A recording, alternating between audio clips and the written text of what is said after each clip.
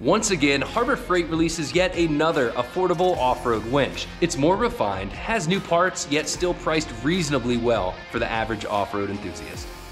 Welcome back to the channel and welcome back to another video. It's quite obvious what we're doing. We're installing the new Harbor Freight Badlands winch onto the new JK build. So in the last video, we installed a new set of bumpers, both front and rear from OuttaHandFab. We also installed some new fenders, some new tires and wheels, hood latches and lights, and really got this Jeep looking good. But before we hit the trails, really want to have a winch on the Jeep. So I started looking around online because it's been quite a while since I've done winch shopping. The last winch was actually the Harbor Freight Badland Apex, right when it came out. And we've been running that on Cassie's Jeep and it's done a phenomenal job. But when I was on Harbor Freight's website, something caught my eye. I saw their standard Badlands winch, However, it had a different look to it than I was used to. It was still the ZXR, but the top hat looked completely different. And that's when I noticed they came out with a new winch model. Let's get this thing out of the box, on the Jeep, then on the trail so we can take an up close look at how this winch works. Grab a socket, let's go.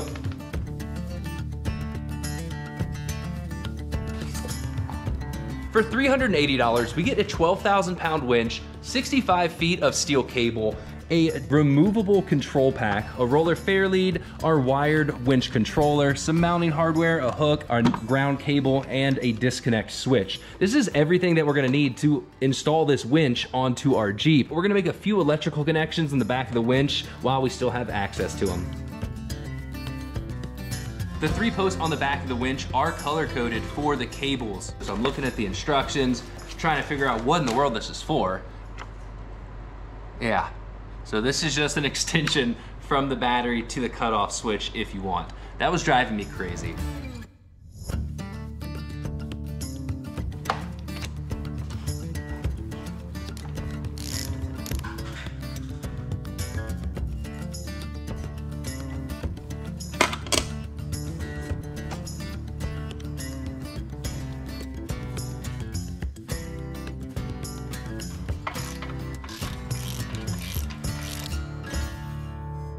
This winch comes with wire rope as the only option, so if you're a big fan of synthetic line like me, you're gonna have to swap over. Now, if you do decide to keep the wire rope because it's a budget-friendly option, we do get 3 8 wire rope, 65 foot long. That's the only downside. 65 foot runs out really fast, whether you're doing a recovery or you're trying to winch yourself out. Now, I went ahead and picked up the Harbor Freight Badland synthetic rope. This is 80 foot. It's a lot lighter. It's gonna be plenty strong. Power cables are hooked up to the battery. The winch is bolted down. It's time to hook up the remote and test this thing out.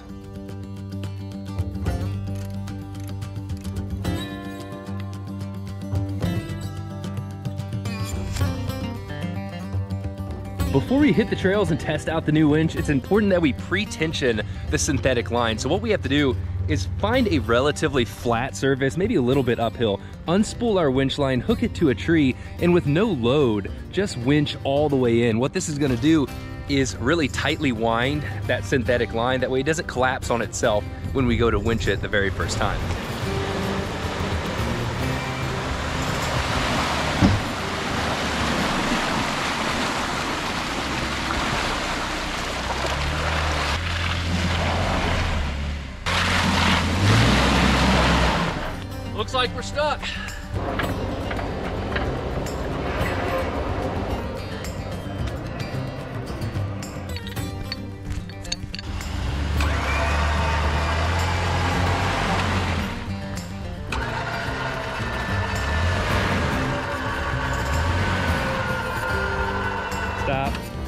So it's digging the entire front axle into the mud.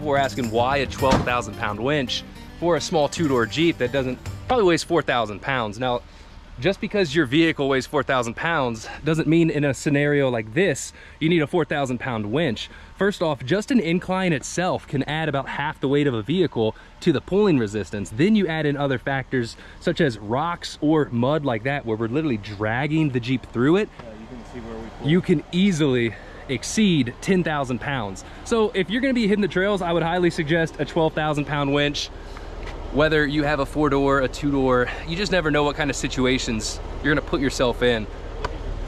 That's everything. That's skid plate, all of it. Yep. Just had to move the earth. Right there. Keep going.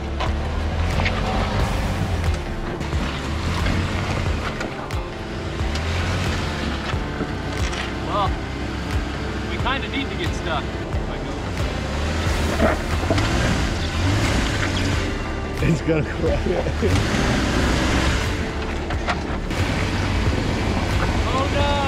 I'm stuck! I mean, it looks like we're stuck. Yeah, stabilizer's fine, but the bracket, it's all bent.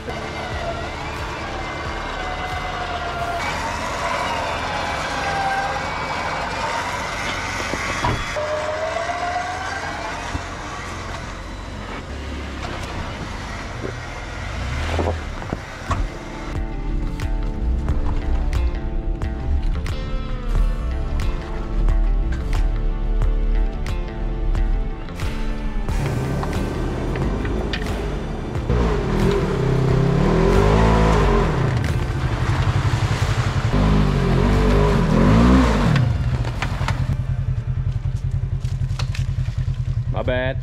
In situations like this, when we're trying to winch a vehicle over a hill and we can't see, we're limited by the remote, you know, the controller wire distance. Luckily, Harbor Freight also has a wireless controller. This is the Badland Apex wireless controller. It also works on this winch. Now this kit does not come with the winch, but it's nice having it as an option. So far, this winch has been doing exactly what it needs to do.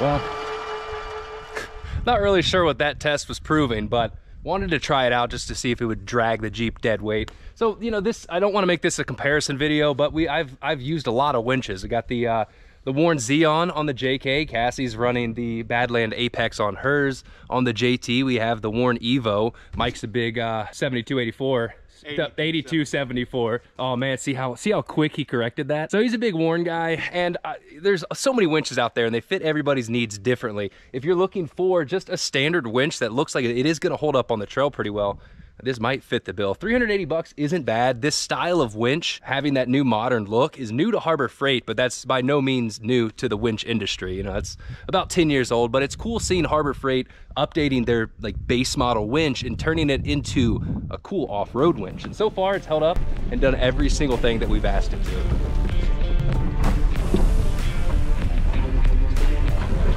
I'm really surprised on how well this Jeep is doing for, you know, open diffs, 33 inch all-terrains. This thing is doing a really good job out here on the trails, but that's not what we're here to do. We're here to test out the winch.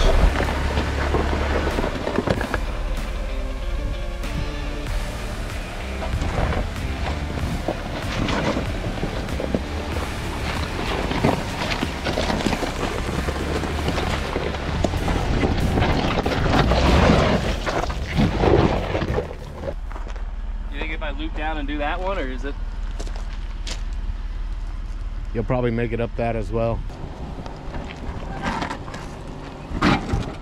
Right there. Just go crazy.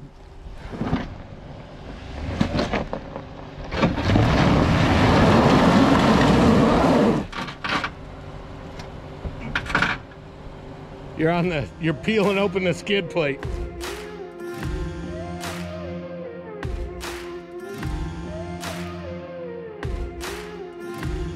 Thing I wanted to test out was really get this thing wedged on a rock, see how we can pull it out. So you hooked up?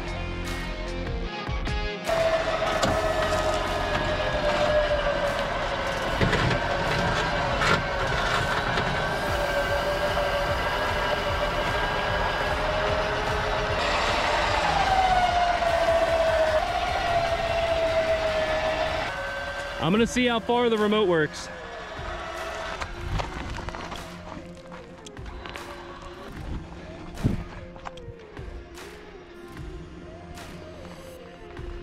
This is far enough away.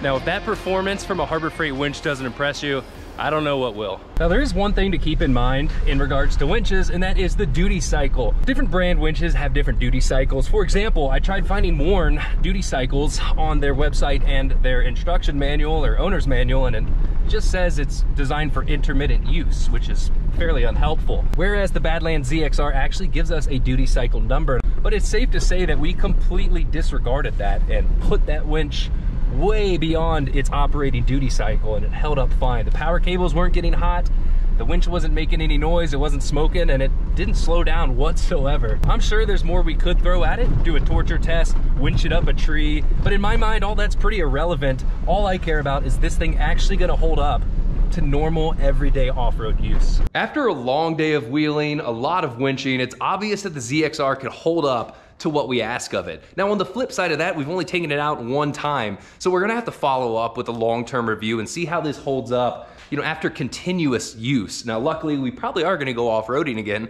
and most likely we're gonna get stuck. So we'll put this to the test and see how it holds up. But the one thing, the only really downside to this winch that I noticed yesterday was the line speed and how slow it is. Now that's not a huge thing to look for when you're purchasing a winch unless you're a racer and you plan on being in a competition where every second counts. When we're just out there wheeling and having fun, we don't necessarily need the fastest line speed because as long as it pulls us out of it, I'm happy with it. Compared to the old ZXR, Harbor Freight was able to bump this winch up from 15 feet per second, drawing 100 amps, up to 26 feet per minute, drawing 62 amps. Now, if we compare that to the Badland Apex at 31 feet per minute at 60 amps, this is still pretty close, just a little bit slower. Now they calculate all that amperage and line speed with zero load, but it does kind of follow a graph. The more load you have on it, the more amps it's gonna draw. It's nice seeing that they were able to squeeze out more performance and barely increase the cost at all. But with that being said, we're gonna get this Jeep and all the other three Jeeps out in the field and do a line speed comparison test between this one, the Badland Apex, and the JKU's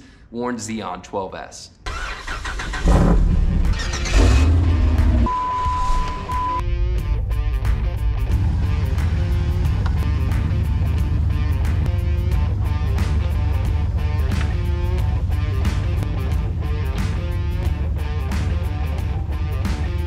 Cassie's Apex winch, 85 foot of synthetic cable, just like the swap that we did on the ZXR, 85 foot. Now the Warn, we actually get an additional 20 feet that goes all the way out here. It can be helpful, but you know, just use a winch extension if you need that extra length. No load on the lines. We're gonna do a little race and see which one can spool in the fastest. The Zeon does have the extra 20 feet, but it's supposed to be a lot faster, and I would hope it would be because it's a $2,000 winch versus a sub $400 winch.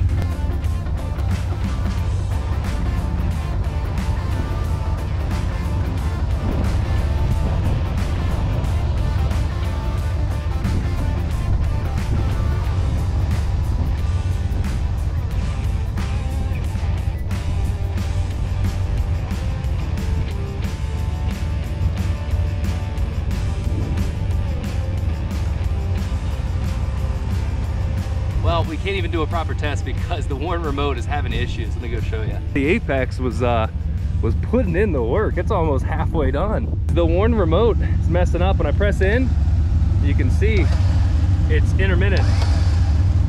I'll let go. Still shows red. Out. In.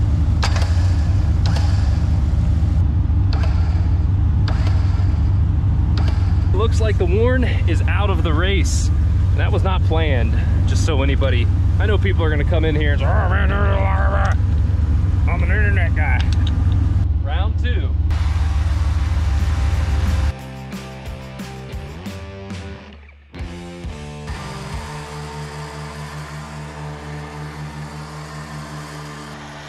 It is hard to beat the 30 feet per minute that the Badland Apex offers. Even if the Warn winch controller was working, that comes in at 28 feet per minute at 62 amps. So take it for what it's worth, but the Harbor Freight winches, they are stepping up their game. It's like their off-road department is really trying to beat the competition. You know, they're coming out with all kinds of cool off-road goodies, recovery goodies, the winches, the soft shackles, the tree straps, the recovery straps. It seems like they really stepped up their game with the Apex winch, and by them doing that, that, it allowed them to really refine their standard basic winch. You know, in the past, I wouldn't necessarily recommend the ZXR just because that it was extremely slow. It wasn't that powerful. It was loud and it had some inherent issues.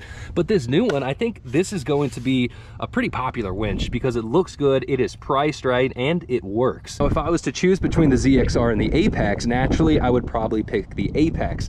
But there are a lot of situations and a lot of bumpers and Jeeps, or not even Jeeps, just different off-road rigs that need a small compact winch depending on where you're mounting it.